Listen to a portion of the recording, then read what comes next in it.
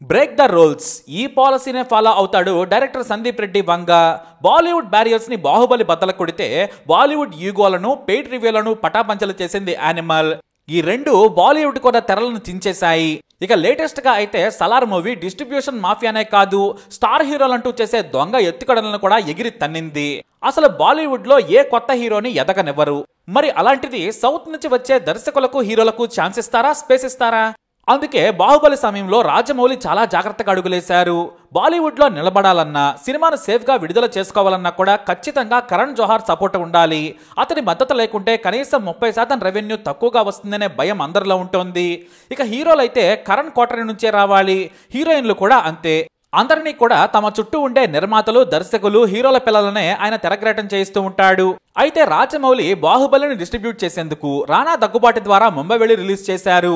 బహుశా కరణ్ జోహార్ కూడా అంతలా హిట్ అవుతుందని ఊహించి ఉండడు. అయితే సపోర్ట్ చేయడమే కాదు లాభాలు కూడా పొందాడు. మరి ఉరకనే చేయడు కదా? ఆ లాభాలు చూసి బాహుబలి సీక్వెల్కు కూడా కరణ్ జోహార్ సాయపడ్డాడు.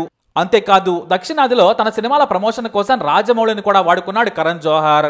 కానీ తనను కాదని సినిమాలు చేస్తే మాత్రం ఖచ్చితంగా తొక్కేస్తారు. సోషల్ మీడియాలో ట్రోలింగ్ కూడా జరుగుతుంది. నెగిటివ్ రివ్యూలు వస్తుంటాయి. సినిమాలను సినిమాలుగా చూడరు. ఆడవాళ్ళను తప్పుగా చూపించారు. అగ్లీ సీన్స్ ఉన్నాయి. రక్తం వెండి తెరపై పారింది. ఇది సినిమా కాదు ఫ్యామిలీ చూడలేరు. చిన్నపిల్లలకు ప్రమాదకరం. యువతను నాశనం చేస్తుంది అంటూ సోషల్ మీడియాలో రెచ్చిపోతూ ఉంటారు. అంటే సినిమా గురించి తప్ప సోది రివ్యూ అంతా చెబుతుంటారన్నమాట. అయితే దీనిని సందీప్ రెడ్డి వంగ బద్దలు కొట్టేశారు. మొదట కబీర్ సింగ్ సినిమా విడుదలైనప్పుడు అనుపమ్ చోప్రా రాజీవ్ మసన్ సహా చాలా మంది ఆక్స్ఫోర్డ్ ఇంగ్లీష్లో రివ్యూ ఎరగదీశారు. వాళ్ళ ఇంగ్లీష్కి కౌంటర్ ఇచ్చాడు సందీప్ రెడ్డి వంగ. సినిమా అంటే ఒక ఆర్ట్. కథా కథనం మాత్రమే చూసే వెళ్ళకు రివ్యూ చెప్పడం కూడా రాదని సందీప్ వంగ సంచలన కమెంట్ చేశాడు. అంతేకాదు వీళ్ళ హింస కూడా ఎక్కువగా ఉంటుందన్నారు. అవునా? అయితే హింస ఎలా ఉంటుందో అసలైన వైలెన్స్ ఎలా ఉంటుందో టేస్ట్ చూపిస్తానంటూ సందీప్ రెడ్డి వంగ ఆరోజే చెప్పాడు. చేసి చూపించాడు కూడా. అదే యానిమల్ ఈ సినిమాలో తనదైన కొత్త ప్రపంచం చూపించారు సందీప్ రెడ్డి వంగ. విపరీతమైన రక్తపాతమే కాదు. హీరోనే స్టాడిస్ట్గా కొడుకుగా సైకోగా ఫ్రెండ్గా హస్బెండ్గా డాన్గా ఇలా వంద రకాలుగా చూపించిన అల్టిమేట్ థ్రిల్ పార్ట్ మాత్రం నెగిటివ్ హీరోనే. అందుకే గతంలో రాజీవ్ మసన్ తనకు సినిమా రివ్యూ చెబితే నానా మాట్లాడినాడు సందీప్. ఈసారి కూడా అనుపమ్ చోప్రా నేర్చుకున్నాడు. వీళ్ళంతా కూడా ఎలిటరేట్స్ ఆటని ఆట్లా చూడరు. ఒక camera lighting background music performance action songs emotion ఇలా ఎన్నో ఉంటాయి. అవన్నీ కాకుండా వైలెన్సు హీరోయిన్స్తో రొమాన్సు. అలాగే అగ్లీ సీన్స్. ఈ మూడు మాత్రమే చెబుతూ ఉంటానన్నాడు సందీప్ రెడ్డి వంగ. వీళ్ళందరూ కూడా రివ్యూలు చెబితే ఇంగ్లీష్లో నాలుగు కొత్త పదాలు తెలుస్తాయంతే. అంతకుమించి వాళ్ళకేమీ తెలియదని ఏకిపారేశాడు సందీప్. అంతేకాదు వీళ్ళంతా కూడా తమ ఇంగ్లీష్ నాలెడ్జ్ను రివ్యూస్లో చూపిస్తూ ఉంటారు. వీళ్ళంతా చైనాకి వెళితే బెస్ట్. అక్కడ ఇంగ్లీష్ ట్యూషన్లు చెప్పుకుంటే ఎక్కువగా డబ్బులు వస్తాయి వీళ్ళ అమాయకత్వం వల్లే కబీర్ సింగ్కు ఓపెనింగ్ కలెక్షన్స్ తక్కువగా వచ్చాయి. మరోసారి ఇలాంటి పిచ్చి రివ్యూలు చేస్తే మాత్రం నేలకేసి కొడతానని చెప్పి హెచ్చరించాడు సందీప్ రెడ్డి వంగ. దీంతో రంగరాజన్ భరద్వాజ్ అనుపమ్ చోప్రా సహా అంతా షాక్ అయ్యారు. ఇప్పుడు యానిమల్ సినిమాను బాలీవుడ్లోని క్వార్టరీ అంటే కరణ్ జోహార్ గ్యాంగ్ టార్గెట్ చేసిందని కూడా పరోక్షంగా చిరాకు పడ్డారు సందీప్ రెడ్డి. వీళ్ళందరికీ కూడా ఒకే రకమైన సినిమాలు మాత్రమే నచ్చుతాయి ఒక్కరి సినిమాలు నచ్చుతాయి. వారి మాదిరిగా నేను డబ్బులు ఇచ్చి రివ్యూలు చెప్పించుకోను నాకు అవసరం లేదు. కానీ నా సినిమా మీద బ్రతుకుతూ వ్యూస్ తెచ్చుకుంటూ నా సినిమాను కిల్ చేస్తానంటే మాత్రం ఊరుకోనని మాఫియాని హెచ్చరించాడు సందీప్. మీరు వైలెన్స్ ఇంకా ఎక్కువైందన్నారు కదా? స్పిరిట్లో మరో షేడ్ చూస్తారంటూ సంచలన కమెంట్స్ కూడా చేశాడు. మొత్తానికి బాలీవుడ్లో సందీప్ సెన్సేషన్ అయిపోయారు. గతంలో రామ్ గోపాల్ వర్మ ఎలా అయితే బాలీవుడ్ను షేక్ చేశాడో ఇప్పుడు సందీప్ కూడా అంతే. బాలీవుడ్లోని రొటీన్ రూల్స్ని బ్రేక్ చేసేశారు ఆయన. తన సినిమాని కమెంట్ చేస్తే మాత్రం తొక్కు కింద కొడతానన్నారు. ఇక మరో సినిమాకు కరణ్ జోహార్ని కూడా కుమ్మేస్తాడు అనడంలో ఎలాంటి సందేహం లేదు. యానిమల్ మీద బాలీవుడ్లోని ఓ సపరేట్ వర్గం గ్రూప్గా ఏర్పడి నెగిటివ్గా ఎలా ప్రచారం చేసిందో కూడా చూశాను. భవిష్యత్తులో మరో యాంగిల్ చూపిస్తానని బాలీవుడ్లోని రొటీన్ ఖాన్లను కరణ్లను కుమ్మేశాడు సందీప్. ఇక ఆ తర్వాత షారుఖ్ ఖాన్ కూడా ఇలాంటి పరమ గలీజ్ పాలిటిక్స్లోకి ఎంటర్ కావడం అందరినీ షాక్ గురి చేసింది. గతంలోనే లియో సినిమాను నార్త్లో థియేటర్స్ ఇవ్వకుండా కుళ్ళు పాలిటిక్స్ చేశాడు షారుఖ్. ఉత్తరాదిన సింగిల్ థియేటర్ ఓనర్స్ నుంచి మల్టీప్లెక్స్ వరకు యజమానులంతా తన స్నేహితులే కావడంతో డంకీకే ఇవ్వాలని తెర వెనక దొంగ నాటకాలాడారు.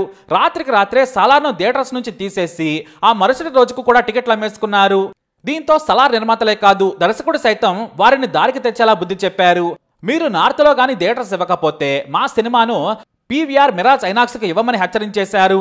అంతేకాదు సౌత్లో మీ థియేటర్స్కు సినిమాలు ఇవ్వమని మీ చైన్ బిజినెస్ని దక్షిణాదిలో మూసేసుకోవాల్సి వస్తుందని హెచ్చరించారు.